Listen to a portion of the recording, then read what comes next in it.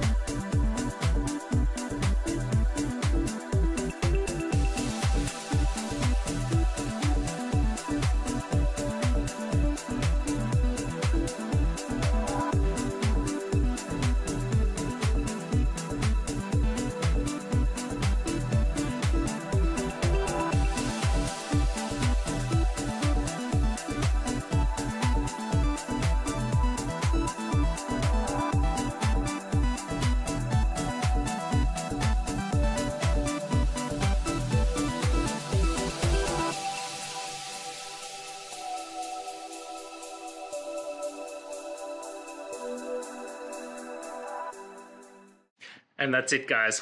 I hope this video helped find that resolution you're looking for. If it did, please hit subscribe. I'd really appreciate it.